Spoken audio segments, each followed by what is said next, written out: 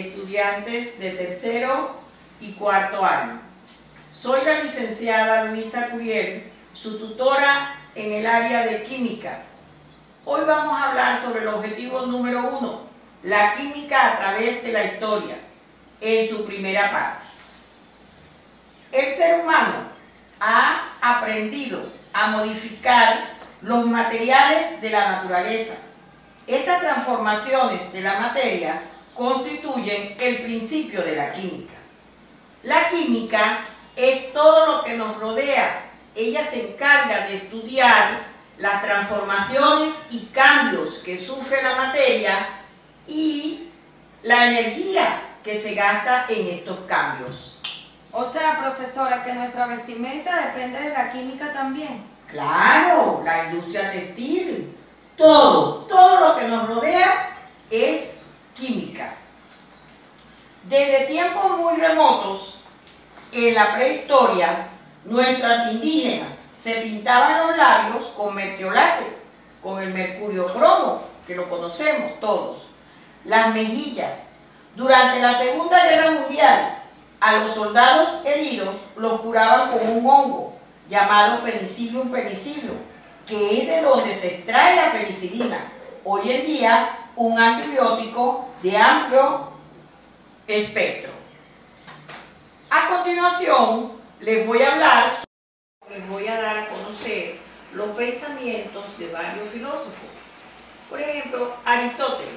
Él pensaba que la materia estaba formada por cuatro elementos, aire, fuego, tierra y agua. Él dijo que la materia era divisible infinitamente y que toda la gente, los objetos estaban formados por esos cuatro elementos que iban a ser destruidos por el fuego. En la época de Aristóteles se pensaba que la materia estaba constituida por esos cuatro elementos. Después vino otro filósofo, que fue Platón, pero él tenía los mismos pensamientos que Aristóteles. Pero a esos cuatro elementos él los transformó en un poliedro. Por ejemplo, a la Tierra le dijo que era un cubo, un icosaedro, y así sucesivamente. Luego vinieron otros filósofos que fueron después de los pensamientos de Aristóteles. Vino Leucipo y Demócrito.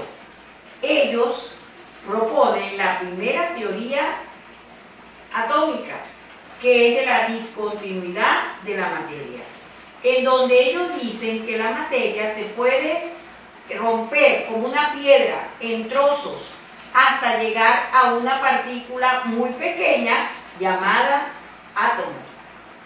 La explicación que da Demócrito a esta teoría es que si nos colocamos en el mar, en un acantilado, si lo vemos desde un acantilado, pensamos que él es sólido, pero si caminamos a la orilla, vemos que nuestros pies se hunden en la arena y si tomamos un poquito de arena, vemos que ésta se, se transforma como en trocitos, hasta que llega un momento que el trocito es tan diminuto que ya no se puede dividir.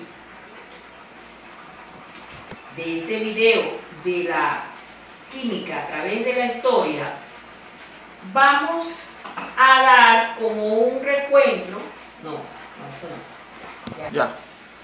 Para concluir esta primera parte de este objetivo de la química a través de la historia, les diré que nos podemos dar cuenta que la química ha evolucionado a través del tiempo.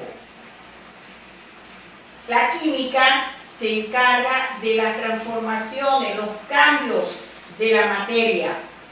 Espero haberlo explicado en forma clara para que en, en el segundo video de este objetivo ya ustedes puedan hacer su actividad. Que tengan un feliz día.